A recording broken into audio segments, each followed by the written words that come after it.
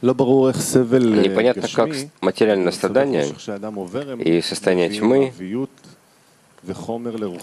дают авиют и материал для духовного продвижения.